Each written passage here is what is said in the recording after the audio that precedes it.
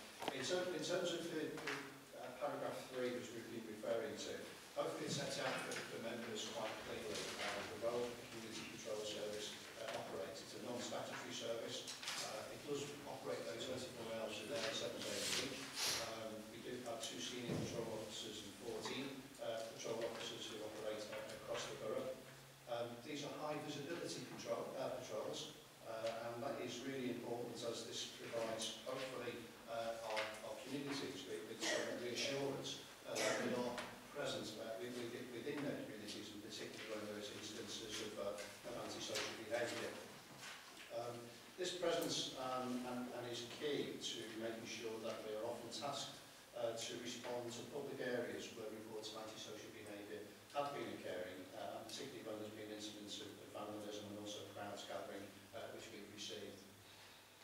In partnership, uh, we uh, have supported obviously the 20 key pledges that, have been agreed by, by Council and the partnership uh, with antisocial behaviour and developing um, and safer neighbourhoods uh, critical features of that. And in the 2015 Wirral Survey, the responses from, from residents uh, absolutely crystal clear uh, that the clear lead priority for them was a reduction in crime and antisocial behaviour. Uh, and 80% of respondents actually believe this should be the council's highest priority. In terms of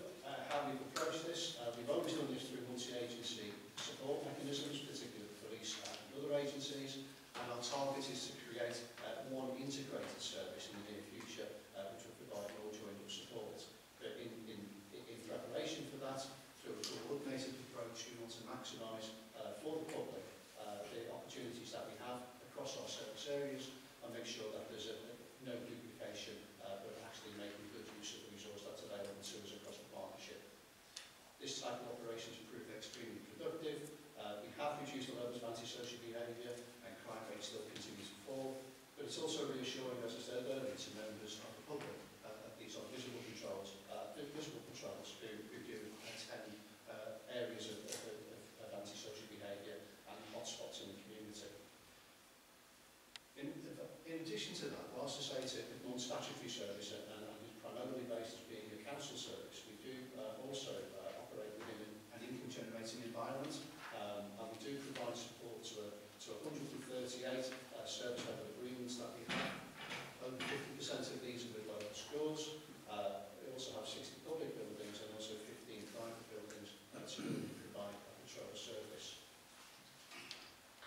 terms of how we, how we do this, uh, this is a paid-for service, um, so some of the premises aren't private, and the typical service level agreement does ensure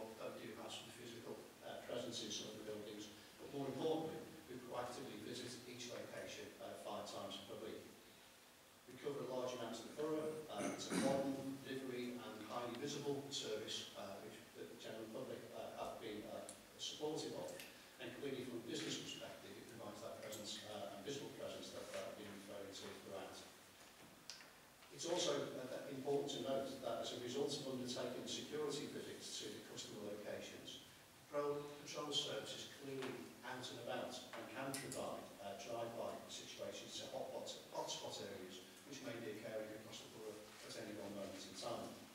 These drive-bys are only requested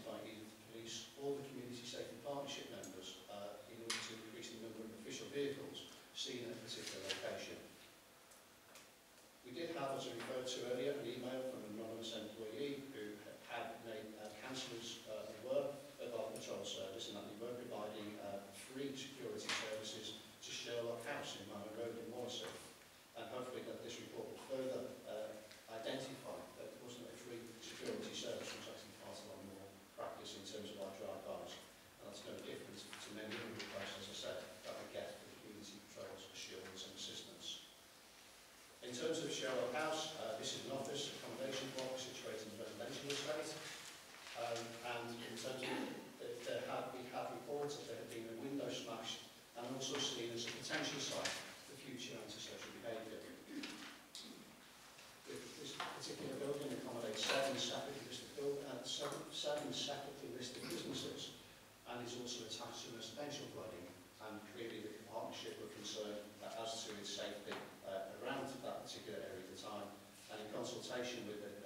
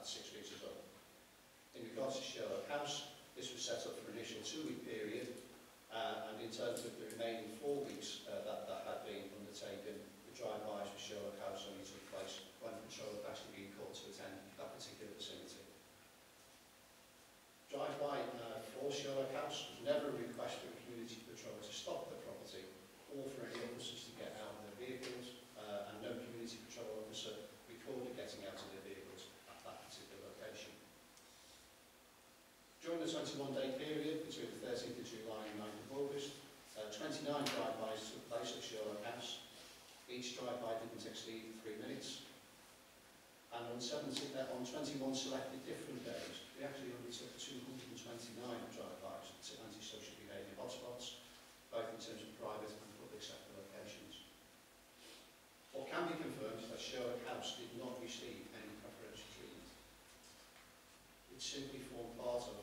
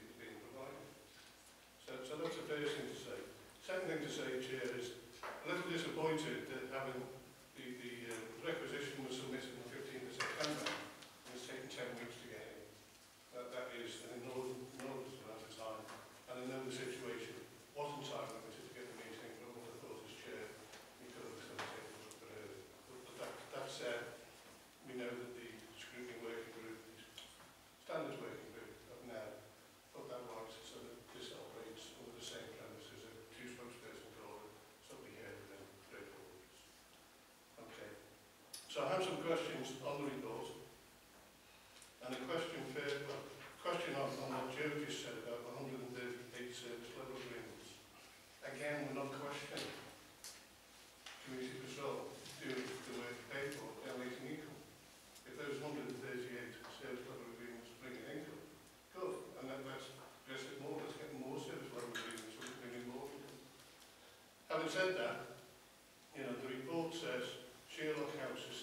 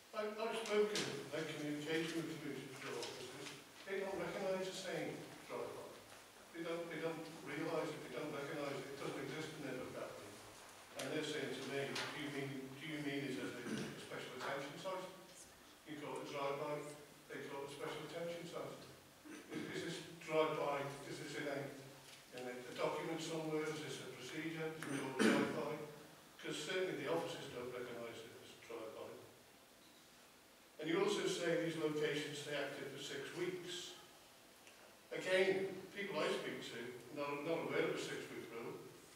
Is, is that recorded anywhere? Is that a, a procedural document? We must have a document that sets out procedures to be followed. Is that six weeks recorded in that? Or is it just, hey, we think six weeks will do it? In paragraph 4.7, it stated that Wirral Community Patrol was tasked to visit if called to an incident in close proximity of Sherlock House. And there was, as you put it, a call every day. And therefore, I will use the term drive-bys because that's what you know, occurred daily throughout the six-week period. Can you provide the logs that show Wirral Community Patrol attended and drove by uh, Sherlock House 42 times? You, you say it's drive-by, didn't I exceed three minutes? Well, I'm sure most of us here know Sherlock House. I find it incredible to say it takes three minutes to drive by. Can you explain why it takes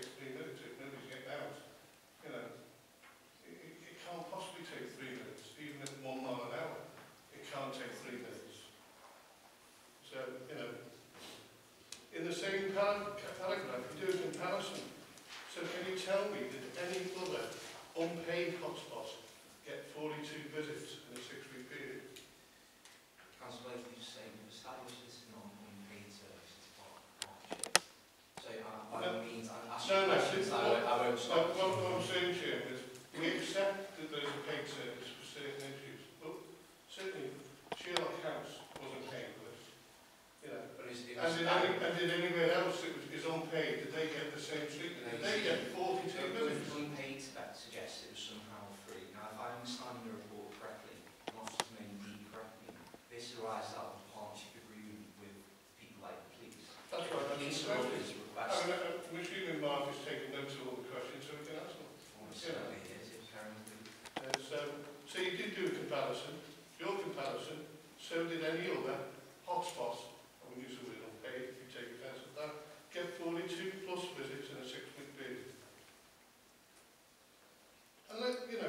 mention in here, you, you know, he concentrates on Sherlock House, but let's move away and look at the other five locations that seem to have, have the benefits of pre-security checks. And, and these aren't made-up locations, these were sent to me in an email by one of your officers, Lairdside Trust and Royal Standard House, a private property on Union Street, a private property on Union Street. No other explanation. Why a private property on Union Street? Thanks, the officer. He couldn't tell me. Cherry Tree Shopping Centre, Ivy Farm Butterfly Scout Trust. Milner Street houses, Magenta Living properties, have we forgotten that Magenta Living took a contract away from Wirral Community Control and cost about 160,000 quid? At this point, I would declare um, an honorary additional address as a board director of Magenta Council Well, all, I'm saying is,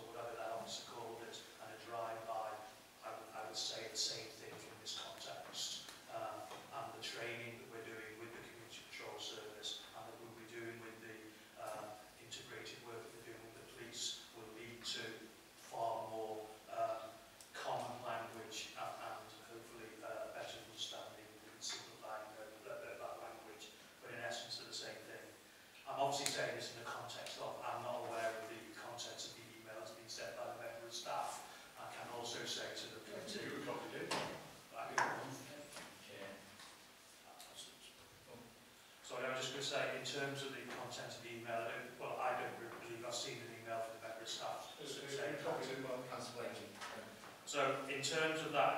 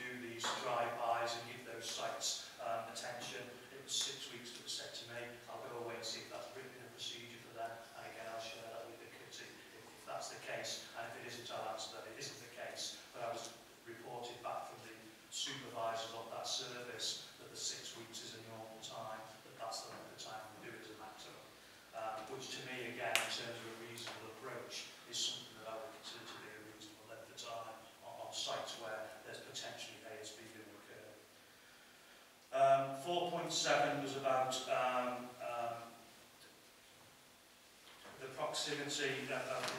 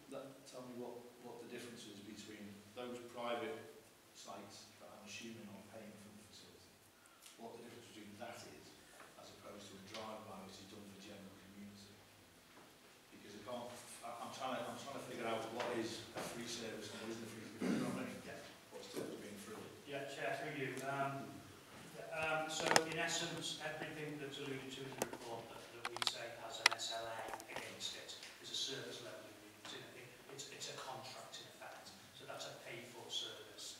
The pay-for service is, is, is offered to um, uh, those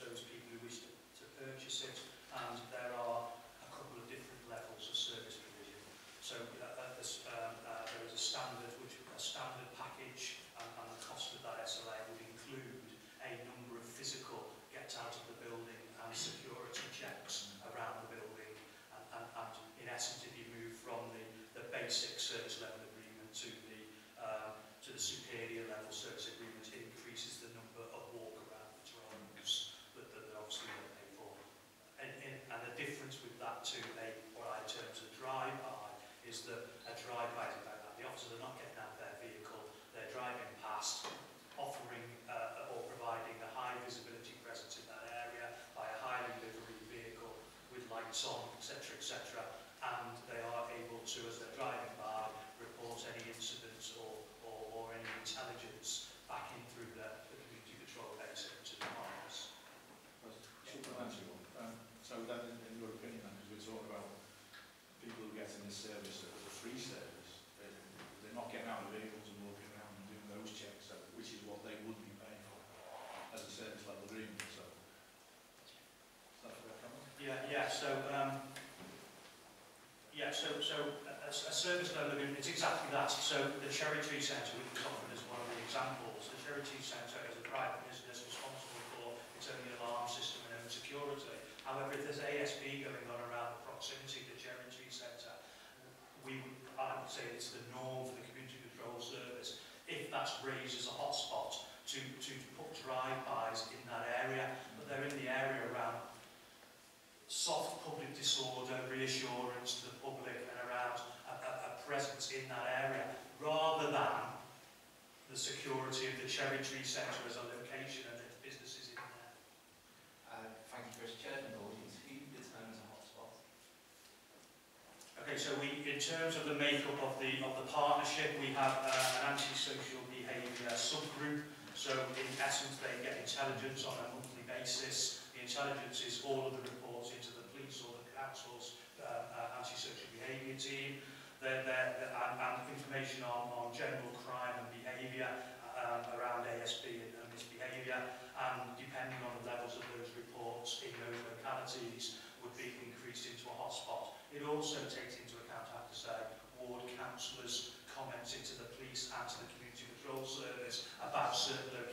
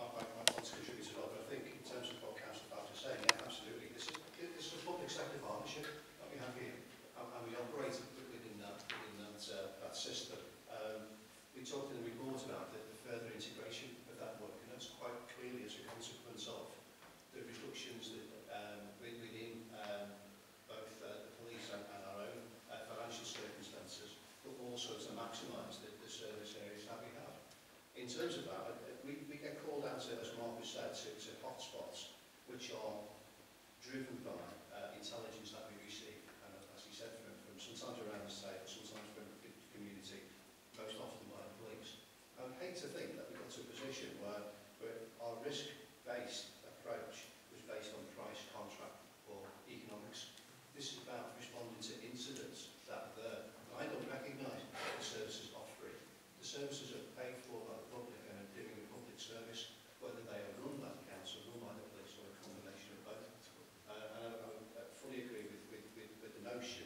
terms of that, that's what we are. We have a public partnership, and, and that's what CARICOM does. A supplementary then, on a, on a similar vein,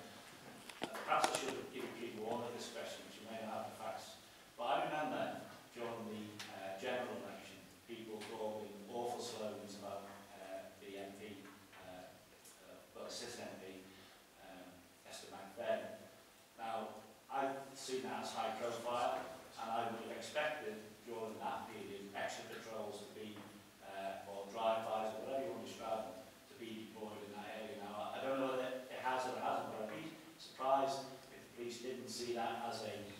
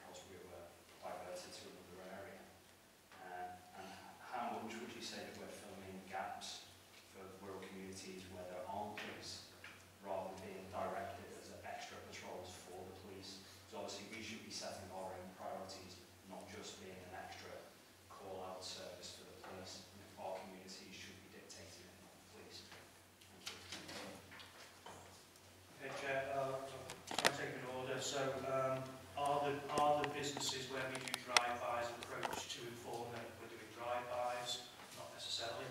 It wouldn't be the business themselves in that locality that would raise if it came to us as a community patrol service and say, um, we've got an issue with ASB on our premises that's affecting our premises and they were a private business. I, I would be I would be looking to sell a service to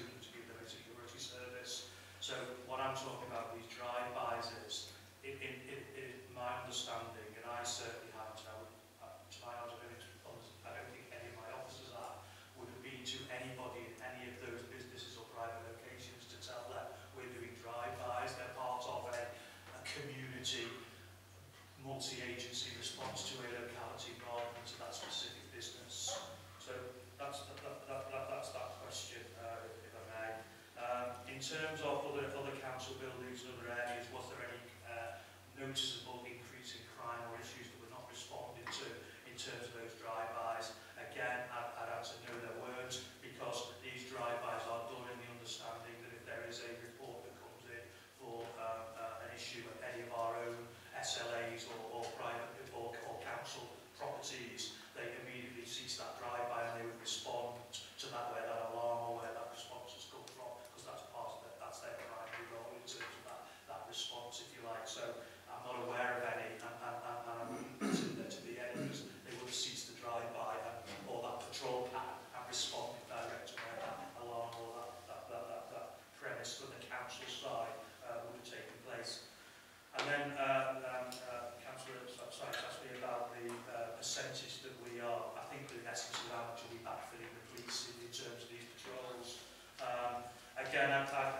to what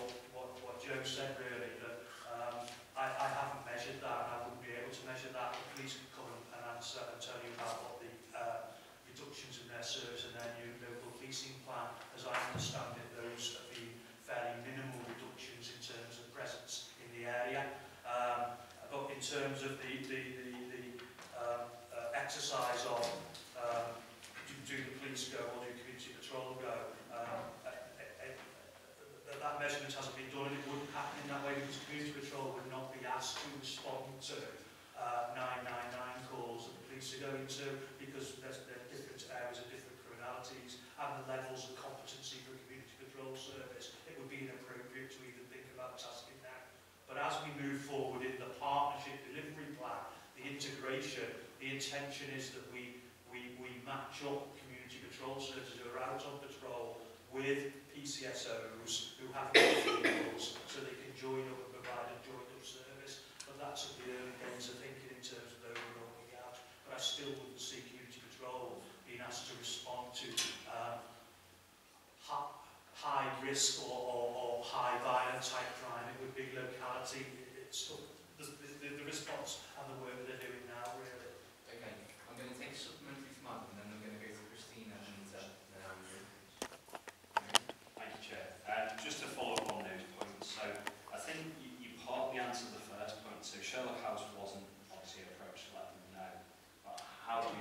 businesses if they've clearly got an antisocial hotspot? Why, why, why is some businesses deemed that they need to get their own security and, and others just get it provided themselves? I, I don't understand how, what, how that works, like Cherry Tree have their own security sometimes.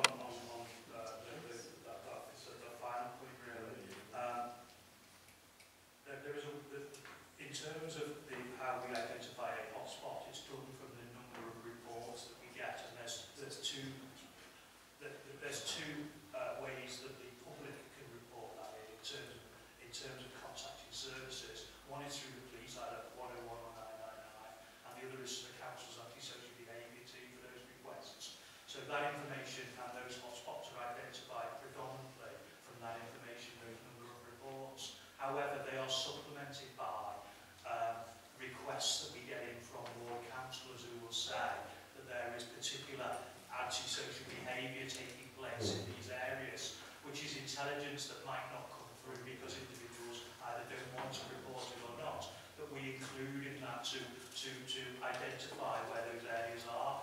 And, and just to, to clarify the issue of, uh, around the, the Cherry Tree Centre, it isn't about um, a security check for the Cherry Tree Centre, it's about tackling community-based anti-social behaviour. And, and, and the issue around that is that these